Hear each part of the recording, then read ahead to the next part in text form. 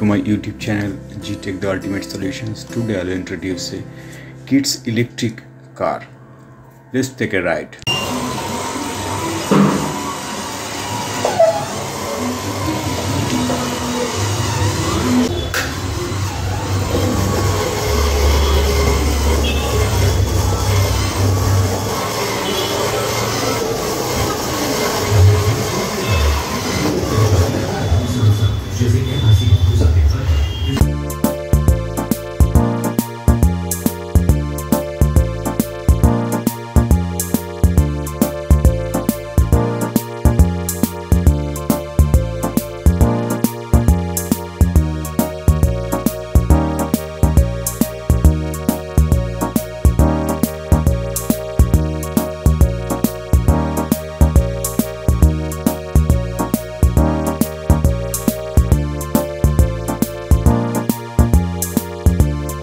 Friends, to make this project you need a car chassis.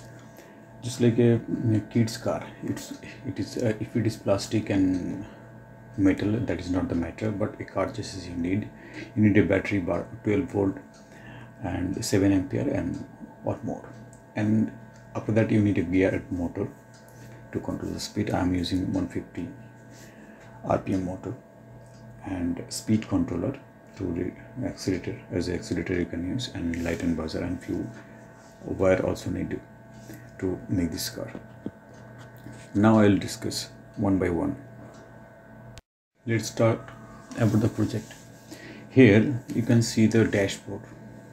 In just like other car you can see the dashboard. Here i'm using a MOSFET to start the car. That means as an accelerator i'm using is it simply switch on and off this you can see this red color button.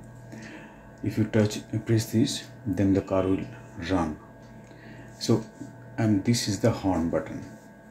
I'm using a buzzer to get the horn sound.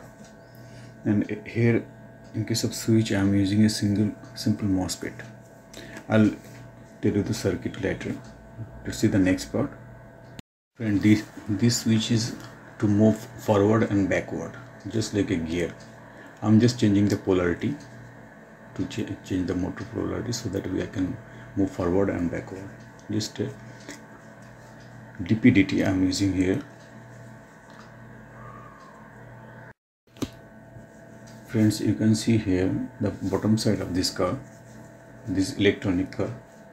It is 100% homemade. And now you can see the speed controller.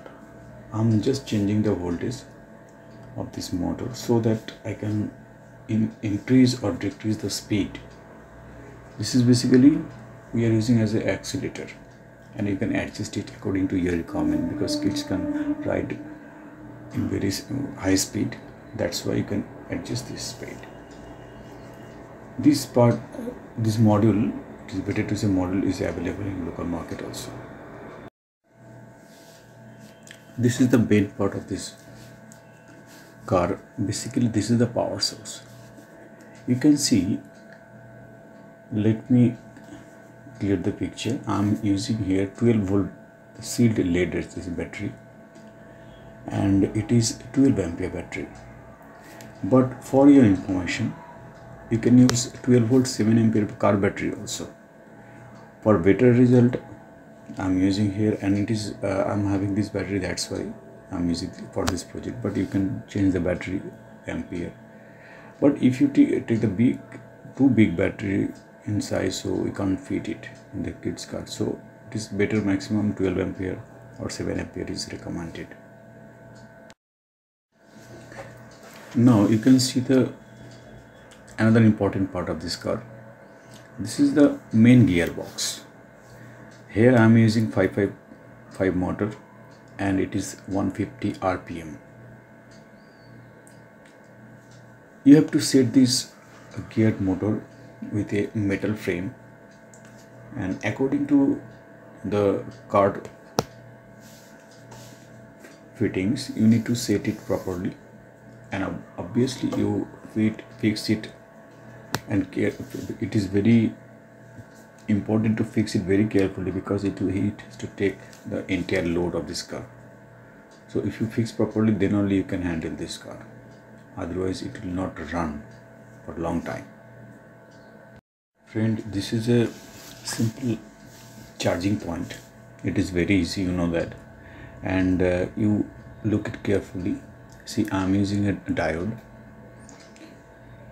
to block the reverse bias and also using led to check the power whether it is available or not. It is for your confirmation.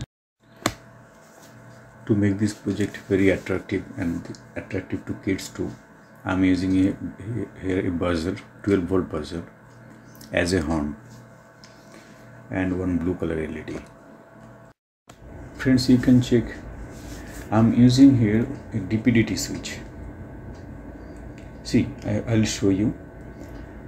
The at the bottom of this uh, picture you can see this is a dpdt switch.